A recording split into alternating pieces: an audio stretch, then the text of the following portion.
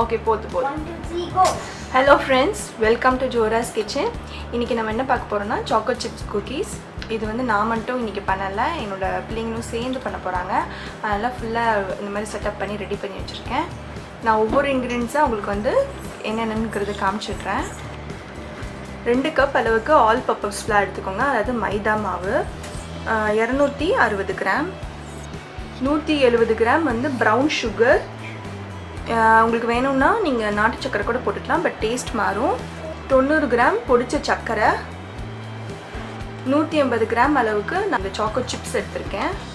நூற்றி எழுபது gram butter இது வந்து ரூம் டெம்பரேச்சரில் தான் இருக்கணும். ஐஸாக போட்டுறாதீங்க.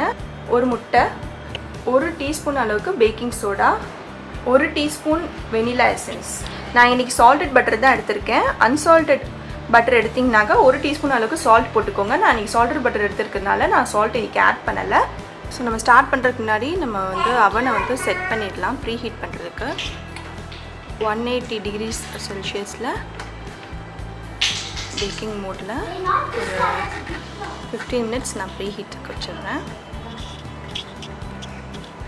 நான் வந்து ரெண்டு பாத்திரம் எடுத்து வச்சுருக்கேன். ஒன்று வந்து ட்ரை இன்க்ரீடியன்ஸ்க்கும் இன்னொன்று வந்து வெட் இன்க்ரீடியன்ஸ்க்கும் இது ஒன் பை ஒன்னாக நம்ம போட்டுடலாம். ஃபஸ்ட்டு மாவு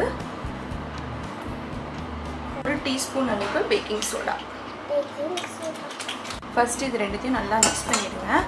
சால்ட் நான் வந்து சால்டட் பட்டர் எடுத்துருக்கிறதுனால நான் சால்ட் ஆட் பண்ணேன் ஸோ நம்ம ட்ரை இன்க்ரீடியன்ஸ் ரெடி ஆயிடுச்சு. நெக்ஸ்ட்டு நம்ம வெட் இன்க்ரீடியன்ஸ் போயிடலாம். முதல்ல பட்டர் போட்டுக்கலாம்.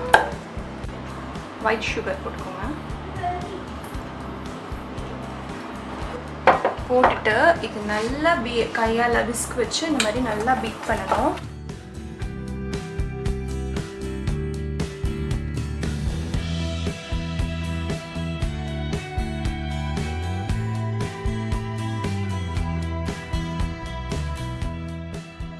Yeah. Uh, I want to taste, please. You want to taste so soon? இப்போ வந்து சர்க்கரையும் பட்டரையும் நம்ம நல்லா அந்த மாதிரி பாருங்க. நல்லா க்ரீம் பண்ணியாச்சு. அப்புறம் இது கூட வந்து நம்ம ஒரு முட்டை இது கூட ஆட் பண்ணிக்கலாம்.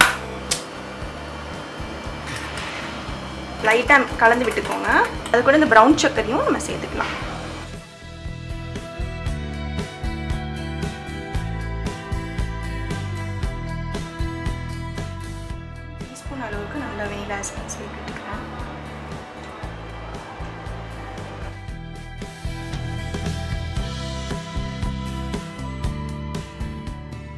நம்மளோட வெட் இன்க்ரீடியன்ஸ் வந்து ரெடி ஆயிடுச்சு. ஸோ நம்மளோட வெட் இன்க்ரீடியன்ஸ் ட்ரை இன்க்ரீடியன்ஸும் ரெடியாக இருக்குது இந்த வெட் வெட் இன்க்ரீடியன்ஸோடு நம்ம ட்ரை இன்க்ரீடியன்ஸை வந்து கொஞ்சம் கொஞ்சமாக போட்டு மிக்ஸ் பண்ணிக்கோங்க. பேட்ச் பேட்சாக பண்ணுங்கள் மொத்தமாக போட்டிங்கன்னா உங்களுக்கு மிக்ஸ் பண்ணுறதுக்கு கொஞ்சம் க கஷ்டமாக இருக்கும். லாஸ்ட் பேட்ச் மாவு போட்டுட்டு இது கூட நான் வந்து கொஞ்சமாக சாக்கோ சிப்ஸ் போட்டுக்கிறேன். கொஞ்சம் சேவ் பண்ணிக்கோங்க. நம்ம கடைசியாக மேலே டெக்கரே டெக்கரேஷனுக்காக யூஸ் பண்ணுவோம்.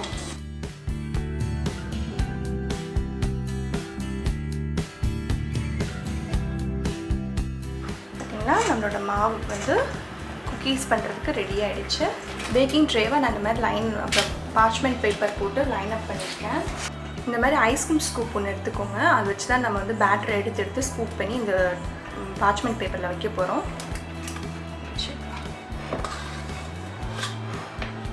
இது ஈஸியாக இருக்கும்.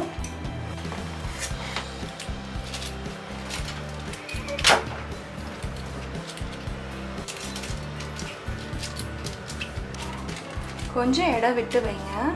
ஏன்னா குக்கீஸ் வந்து பேக்காய் வரும்போது பெருசாகும். இதுக்கு மேலே நான் டெக்கரேஷனுக்கு கொஞ்சம் கொஞ்சம் சாக்கோ சிப்ஸ் வைக்க போகிறேன்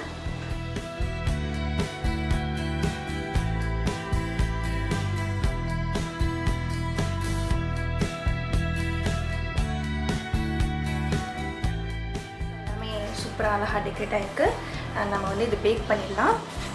ஸோ அவன் ரெடி ஆகிடுச்சு நான் வந்து சென்டர் ரேக்கில் இது ப்ளேஸ் பண்ணிட்டேன். இதை வந்து நம்ம ஒரு ten to fifteen minutes fifteen minutes நான் இப்போதைக்கு வைக்கிறேன். அதுக்குள்ளே பேக் ஆயிரும். நம்மக்கிட்ட பார்த்தீங்கன்னா இன்னும் கொஞ்சம் பேட்டர் இருக்குது குக்கீஸோட பேட்டர் இது நான் எப்படி உங்களுக்கு ஃப்ரிட்ஜில் ஸ்டோர் பண்ணுறதுன்னு சொல்லி காமிக்கிறேன். நம்ம ஃபஸ்ட்டு குக்கீஸ் பேக் பண்ணுறதுக்கு எடுத்தோம் இல்லையா? அதே மாதிரி எடுத்து எல்லாத்துலேயும் ப்ளேஸ் பண்ணிடுங்க இந்த மாதிரி.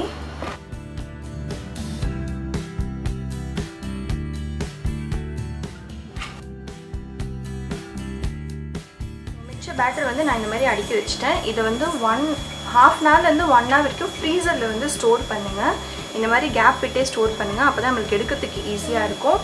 இன் இந்த பேட்டரில் எனக்கு வந்து இருபத்தி ரெண்டு குக்கீஸ் கிடச்சிருக்கு.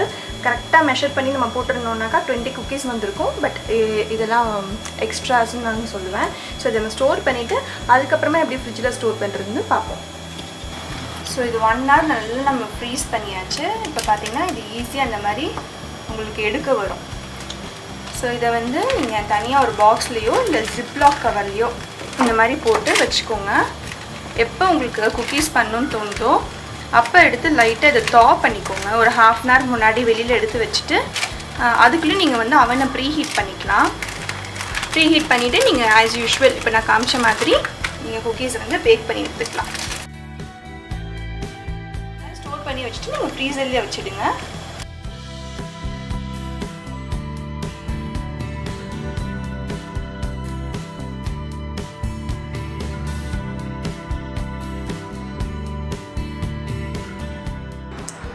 குக்கீஸ் வந்து நல்லா பேக் ஆகிடுச்சு இது நான் கை பிடிச்சி எடுத்ததுனால அது அமுங்கிடுச்சு. இந்த மாதிரி கொஞ்சம் இப்படி பாருங்கள் சாஃப்டாக தான் இருக்கும் ஃபஸ்ட்டு இது நீங்கள் அப்படியே வந்து கொஞ்ச நேரம் வெளியில் வச்சிங்கன்னா அப்படியே லைட்டாக ஹார்ட் ஆகிடும் நான் வந்து பெரிய ஸ்கூப்பில் குக்கீஸ் டோ எடுத்து போட்டதுனால நல்லா எனக்கு பெரிய குக்கீஸ் கிடச்சிருக்கு. உங்களுக்கு சின்னதாக வேணும்னா நீங்கள் சின்ன ஸ்பூன் வச்சு ஸ்கூப் பண்ணி போட்டுக்கலாம். ஆனதுக்கப்புறமா உங்களுக்கு காமிக்கிறேன். ஸோ கொஞ்சம் நல்லா ஆறிடுச்சு. நீங்கள் பாருங்கன்னா ஈஸியாக எடுக்க வருது. எல்லாமே நான் தனியாக இன்னொரு பிளேட்டில் எடுத்துகிட்டு உங்களுக்கு நான் காமிக்கிறேன். பாருங்கள் சூப்பராக குக்கீஸ் ரெடி ஆகிடுச்சு என்னோடய குக்கீஸ் பார்த்திங்களா எவ்வளோ பெருசாக இருக்குன்னு. எனக்கு யூஸ்வலாக அந்தமாரி பெரிய குக்கீஸ் ரொம்ப பிடிக்கும். நீங்கள் சின்னதாக பண்ணணுன்னாக்கா சின்ன ஸ்கூப்பில் வச்சு மெஷர்மெண்ட் பண்ணிக்கோங்க. நான் உங்களுக்கு ஒரு பீஸ் இப்படி உடச்சி காமிக்கிறேன்.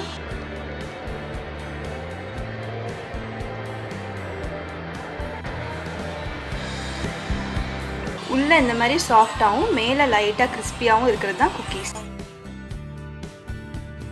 குழந்தைங்களுக்கு இதை நீங்கள் பேக் பண்ணி கொடுங்க. கண்டிப்பாக அவங்களுக்கும் ரொம்ப பிடிக்கும். நான் இன்னும் ஃப்யூச்சரில் நிறையா குக்கீஸ் வெரைட்டிஸ் போடுறேன். நான் உங்களுக்கு இன்னொரு வீடியோவில் சந்திக்கிறேன். இந்த வீடியோ பார்த்ததுக்கு மிக்க நன்றி.